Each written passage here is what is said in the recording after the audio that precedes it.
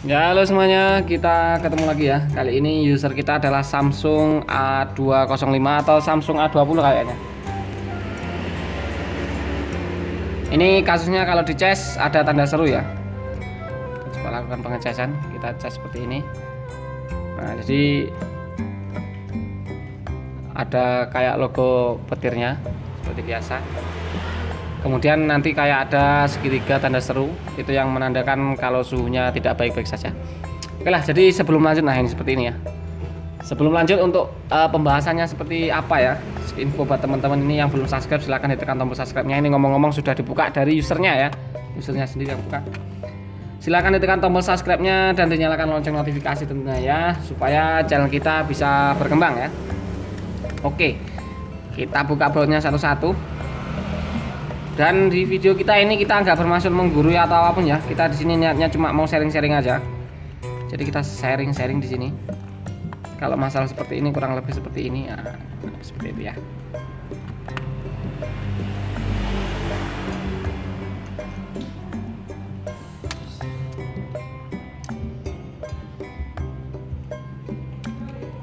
Oke.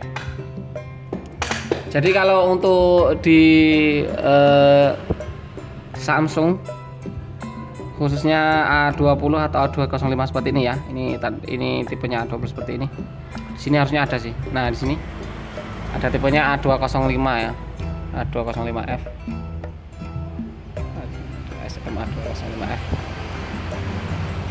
Itu kalau masalah seperti itu biasanya yang seli, yang sering bermasalah itu e, kapasitor yang ini ya ada tiga kapasitor ini kita tunjuk pakai pin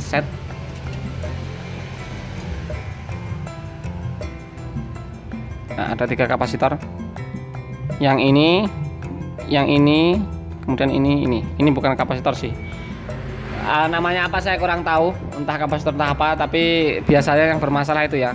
Termistor atau uh, apalah ini pokoknya tor-tor traktor apa apa ini kalau di Samsung itu kayak ini fungsinya kayak semacam pengaman. Jadi ini indikasinya setrum yang masuk itu tiba-tiba melonjak atau tidak stabil. Jadi biar nggak bermasalah di mesin sini jadi ditahan ke yang ini. Nah ini kita bisa cek satu-satu yang mana yang short. Kita coba cek ya menggunakan multitester seperti biasa. Ini kita cabut baterainya. Multitester tentunya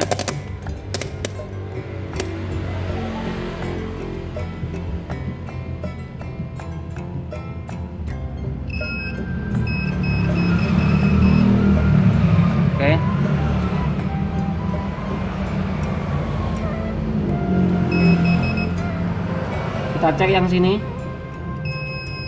Ground supply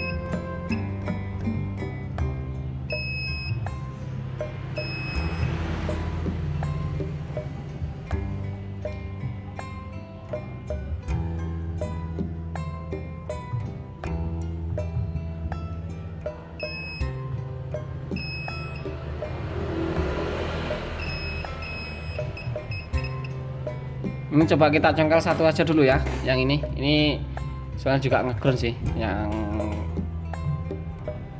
yang besar ini ya. Ini kita coba kita angkat dulu. Kita coba angkat dulu ya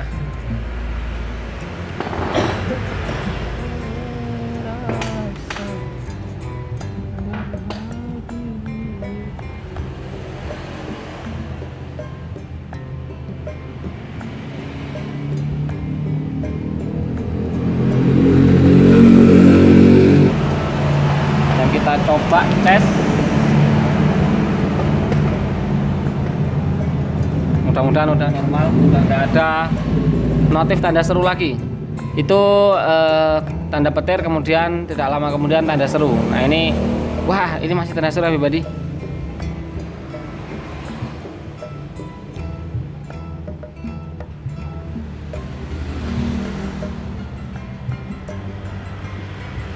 Masih tanda seru ya masih ada tanda serunya tapi bedanya ya kalau tadi tanda seru dan sini casnya sudah oh ya sama. Tanda seru suhunya terlalu tinggi ya. Oke karena masih terlalu tinggi kita coba cek. Itu kan kita angkat satu. Kita coba cek yang kapasitor satunya apakah masih sama atau ini ya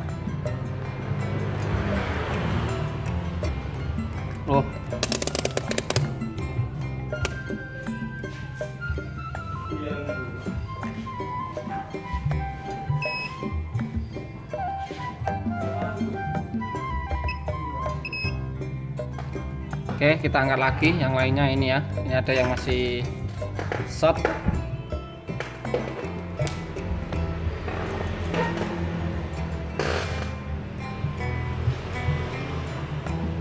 Kita angkat dulu, kita buang dulu untuk uh, ininya notifikasi atau tanda serunya tadi ya. Kita buang dulu semuanya ini biar aman dulu.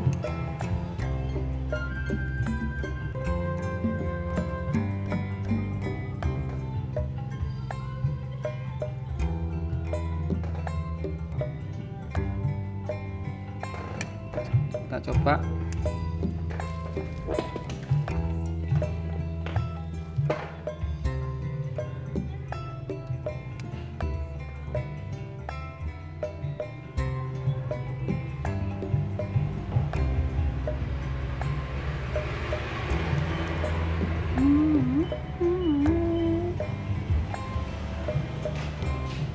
Ya sudah aman ya.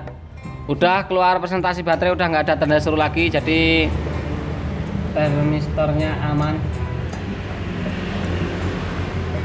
apa S1 satu wala Oke, jadi yang kapasitor di sini kita angkat dulu angkat dulu semuanya sampai hilang itunya ya.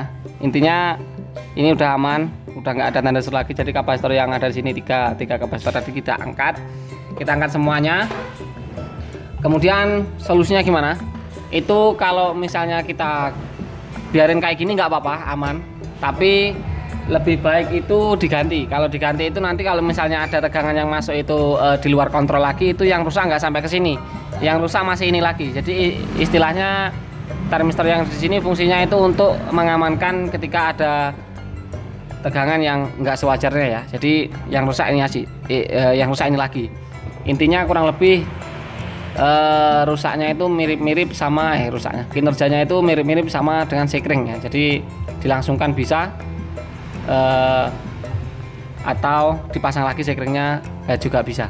Kalau dipasang lagi sekringnya nanti kalau misalnya ada masalah lagi yang masalah sekringnya. Tapi kalau dilangsungkan mungkin ada komponen yang lain. Nah itulah. Jadi plus minusnya di situ ya. Jadi kalau ada tegangan masuk yang nggak normal itu kalau ininya dipasang lagi eh, TH-nya tadi masang dimasang lagi itu eh, yang rusak yang kalah ininya lagi. Tapi kalau ininya nggak dipasang bisa yang rusak komponennya di daerah sini bisa yang rusak komponennya yang ada di cas jadi kurang lebih seperti itu ya.